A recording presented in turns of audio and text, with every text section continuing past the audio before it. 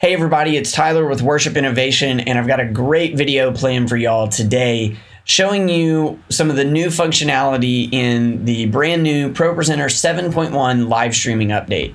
So we did a video previously talking about just how to get set up live streaming in ProPresenter, and I talked about in that video uh, how you could very potentially even use ProPresenter as a video switcher instead of a presentation software.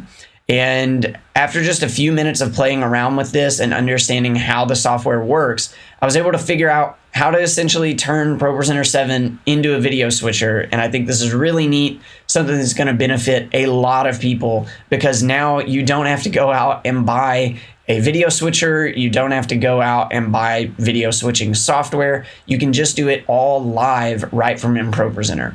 So there's a couple things that you're going to need to have set up, and I want to talk you through all this from the ground up.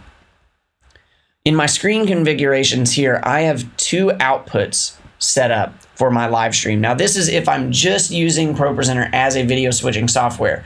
This does not work to be sending ProPresenter as a, uh, like, running your full screens, like for your front of house and doing your live stream. This is just simply only taking video inputs and switching them. So some of your video inputs could very well be other copies of ProPresenter sending in through NDI or something like that. So here I've got a program output, my live stream PGM output. That's actually getting sent through NDI because that's what's legitimately being sent out. Um, or this would be what's actually getting live streamed from ProPresenter as well as I've got a live stream preview output that's just a placeholder. And then I have a multi-view stage display set up. In my video input layers, this is where I would select all of the different cameras that I had available. So say I had something like a Blackmagic DeckLink quad, um, I could do four video inputs and select everything from the DeckLink card, whatever it is. I just have one because I have my webcam hooked up, so we're just going to deal with one video input layer, but this scales to however many video inputs you can get into your computer.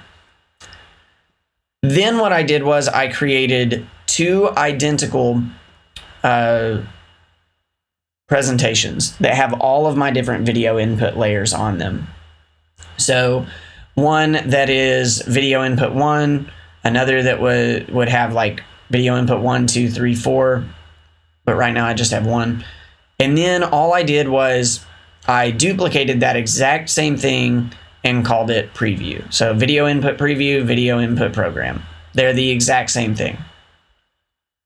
Then when I place that in my setup here, you'll notice I have both of them. But one is being sent to the announcements layer, and that is the program output. It's being sent to the announcements layer. And that's what's actually going to go out on my live stream program output. So it's being sent out on the announcements layer, but my preview is not. This allows me in my looks to set up something really cool. So this first one is my live stream program. The second one is my live stream preview.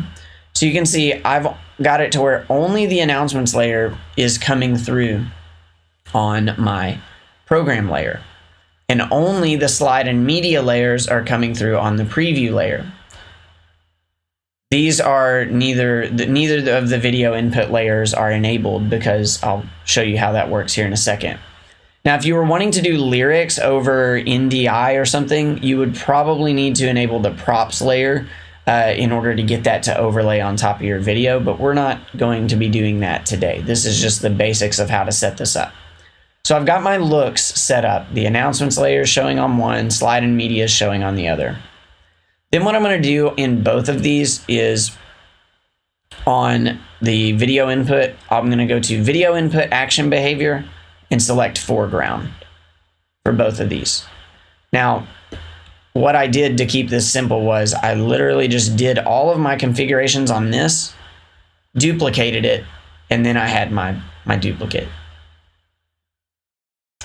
Then all I did was take the video input pre uh, program, send it to the announcements layer, and have my preview not sent to the announcements layer.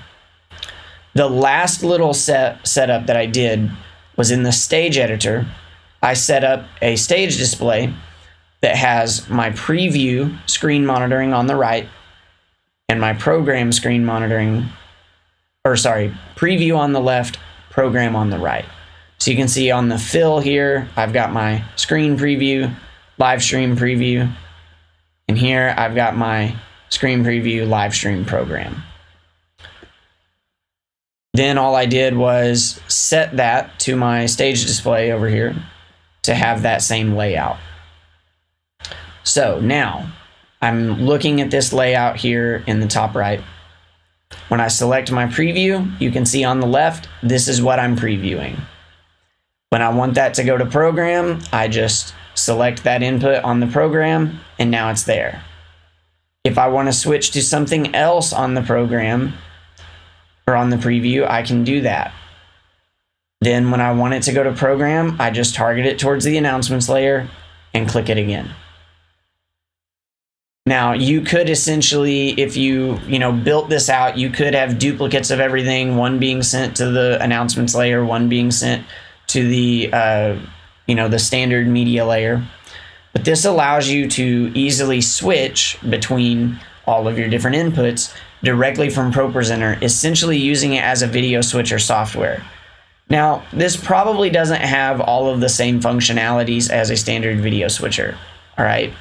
But if you're on a budget and you want a very simple way to switch between video sources, you can use ProPresenter and you can live stream those out directly.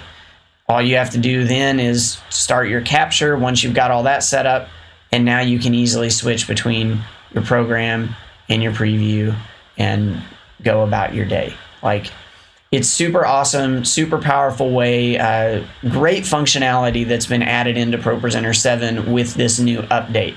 So for some of you guys, this is going to be, I don't know, maybe something you'll never do.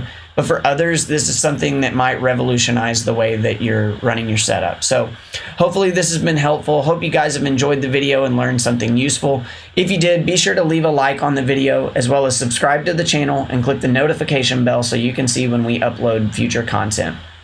Until I see you guys next time, keep on innovating.